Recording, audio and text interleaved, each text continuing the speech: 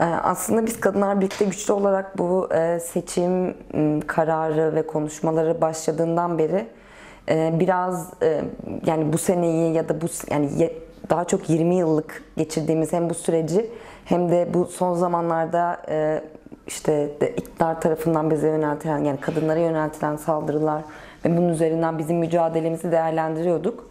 Ee, Biraz daha bu seçimle beraber de hani e, bu seçime doğru giderken kadınlar olarak gündemlerimiz neler, neleri önümüze koyacağız, nasıl bir söz söyleyeceğiz gibi e, toplantılar almaya başladık. Bunlar açık çağrılı toplantılardı aslında. Ee, Bu 8 Ocağı giderken de arada e, bir yani sene yani 2022 bitti ve 2023'e giriyoruz. Ee, Bir yandan da ve e, hem bizi de hareketlendiren bir şey olsun istedik. E, tabii ki de şeyi de düşündük yani hani 2022 zaten evet geride bıraktığımız ve bırakmak istediğimiz tek sene değil yaşadıklarımızdan dolayı. Ama bir yandan da hani bunu da bir düşünerek böyle bir yerden düşünerek ya bu 2022 yılında hani neleri geride bırakmak isteriz ve bu sene artık biz e, hani kadınlar ve LGBT artılar olarak neyi istiyoruz, neyin için mücadele ediyoruz ve nelerin nelerin değişmesini umut ediyoruz ve bunun için devam edeceğiz bu sene diye biraz laf çevirdik. Bunun üzerine bir işte bu 8 Ocak eylemi çıktı aslında. E, ilçelerdeki arkadaşlarımız yaklaşık böyle 2-3 haftadır e, ufak bildiri dağıtımları, eylemler yapıyorlar. Aslında ortaya bir kutu koyuyorlar ve yoldan geçen insanlara neleri geride bırakmak istiyorsunuz ya da 2023 dilekleriniz nelerdir kadınlar olarak diye aslında or- orada kadınların dileklerini topluyoruz. Yani aslında umutlu dilekler çıkıyor ve hani geçmişe dair bu yani geçmişe dair dedim ya bu geçtiğimiz seneye dair işte bu yani şiddeti, istismarı, devlet şiddetini, e, erkek şiddetini geride bırakmak ve onlarla mücadele etmeye yönelik ve daha özgür ve eşit bir hayat umuduyla yazılan dilekler çıkıyor aslında. Komik şeyler de çıkıyor tabi. Hepsine vakıf değiliz ama bunların önemli bir kısmını 8 Ocak'ta okuyacağız bu arada. Biraz bu 8 Ocak'ın sloganı da kadınların isyanı değiştirecek olarak belirledik.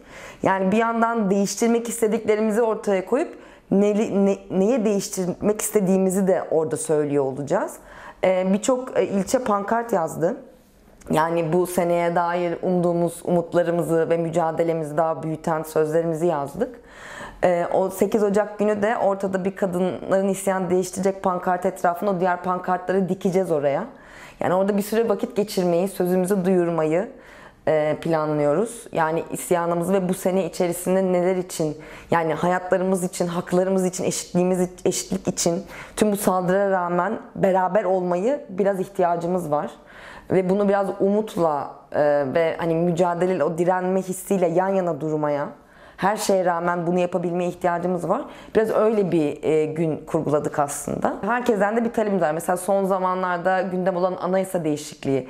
Ya bunu hani tüm muhalefetten de talep et, yani AK Parti'den artık çok şeyimiz yok tabii ki ama hani e, onların zaten öne sürdüğü bir şey olarak da söylüyorum bunu.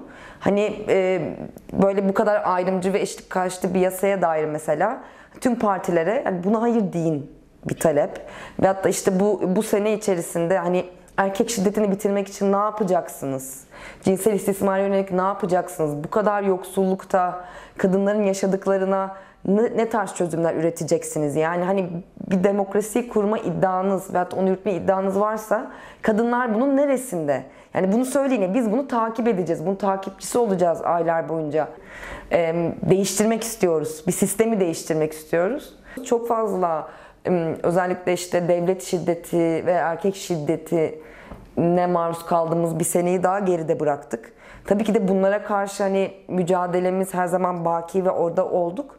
E, ama bunu daha büyütmeyi hedeflediğimiz bir seneyi önümüze koyuyoruz aslında. Ya biraz daha sokakları daha da güvenli kılan ya bizim için ve hani birbirimizden güven aldığımız e, ve sokakta olmanın bir şeye talep etmenin kadınlar olarak yaşadıklarımızı söylemenin yani özgür bir hayatı istemenin suç olmadığını tekrar hatırlayacağımız bir sene hedefliyoruz aslında. Birbirimizden güç aldığımız bir ortam kurmaya çalışıyoruz kadınlar olarak. Ee, ve bunu daha büyütmeye çağırıyorum tüm kadınları. Ve tüm taleplerinin de orada olabileceği, onların duyulabileceği bir alan yaratmaya çalışıyoruz. Bunların, ya bunun bir parçası olmaya çağırıyorum orada. Ee, birbirimizden yani umut ve dayanışma doğmaya çok ihtiyacımız var. Ee, ve onu orada kurabileceğimizi ve isyanımıza, isyan etmeye çağırıyoruz aslında orada kadınları. Ya 2022 yılı aslında kadınlar açısından yani elbette ki sadece tek başına kadınlar açısından değil ama tüm toplumsal kesimler açısından çok zor bir e, 2022 geçirmiş olduk. Elbette ki kadınlar açısından değerlendirdiğimizde yani hem sokakta olduğumuz hem çeşitli kazanımlarımıza dönük saldırıların olduğu hem birçok arkadaşımızın cezaevine e, girdiği, işte 8 Mart'lardan 25 Kasım'lardan yargılandığı, onun dışında yani e, şimdi aslında e, Kadınlar Birlikte Güçlü olarak biraz şey yaptık böyle bir yılımız nasıl geçti diye bir baktığımızda önümüze şöyle tablolar çıktı. Yani biz aslında geçtiğimiz yıl Ocak 15'ten itibaren böyle sokakta olmuşuz. Biz aslında cezaevlerinde kadın arkadaşlarımıza dayanışmak için ve oranın sesini sokakta ve dışarıda nasıl dillendiririz diye böyle başlamış 2022 bizim için 15 Ocak itibariyle. Sonrasında Şubat'ta işte 8 Mart'ın kendisi işte biliyoruz ki 8 Mart hem e, Türkiye'nin birçok yerinde hem de Kürdistan'da da öyle. Çeşitli yasaklarla birlikte 8 Mart'ta kadınlar sokaklara çıktı. Ee, işte 8 Mart gece yürüyüşünde bütün sokaklar ablukaya alındı ama ona, ona rağmen biz orada kalabalıklığı yaratmış olduk. Emeğimizin sömürüldüğü, yoksullukla baş başa bırakıldığımız, aynı zamanda da erkek devlet şiddetine karşı ya da işte bir kişi daha eksilmeyeceğiz dediğimizde ya da işte cezaevinde kadın arkadaşlarımıza ses verdiğimizde sokakta olduğumuzda da devlet şiddetiyle karşı karşıya kaldığımız bir sürecin kendisini aslında 2022'de yaşamış olduk.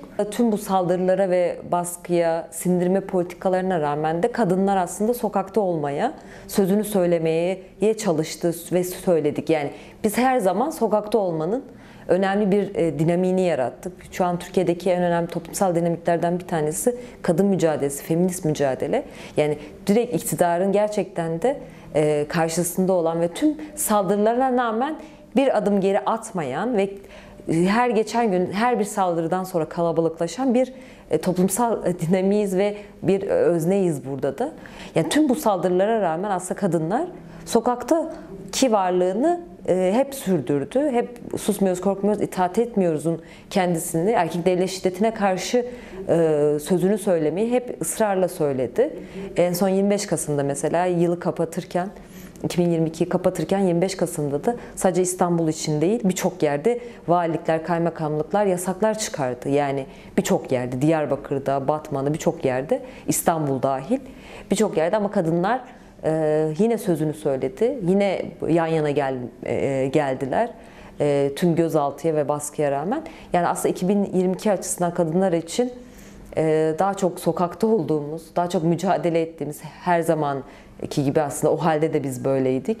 Ee, biraz böyle kapattık biz 2022'yi. 2022 yılı aslında e, çok mücadele ettiğimiz kazanımlar, demin de ifade ettiğim gibi kazanımlarımıza dönük yoksulluk, erkek şiddeti, devlet şiddeti, tüm baskılara rağmen birçok şey yaşadık. Yani biz 2023 e, açısından da 2022'de isyan ettik ve e, ama birçok şeyi de geride bırakmak istiyoruz.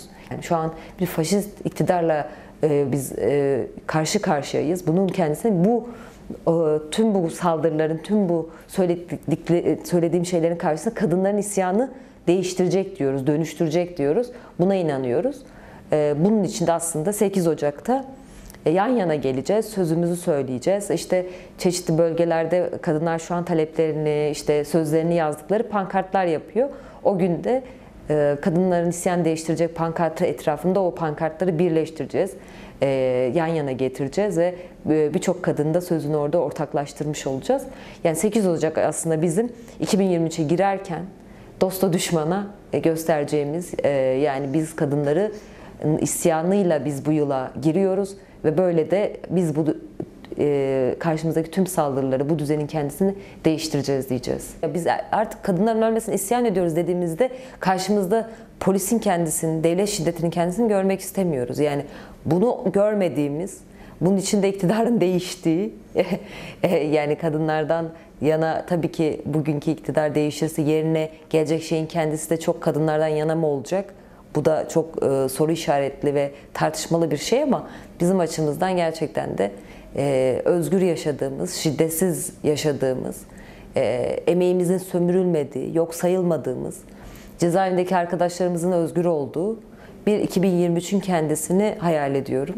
ve bunun için aslında biz mücadele edeceğiz. Yani 8 Ocak'ta kadınlar Lubinyolar olarak Kadıköy'de Beşiktaş iskelesinde olacağız saat 3'te. Yani her bir kadına şunu söylemek istiyorum. Yani 8 Ocak'ta ne işi varsa yani evdeki, e, sokaktaki ya da işte bir yerdeki bütün işini bırakıp e, gelsinler. Orada birlikte pankartımızın etrafında buluşalım ve sözümüzü söyleyelim. 2023 ve isyanımızla değiştireceğiz diyelim ve kadın dayanışmasını hep birlikte yükseltelim.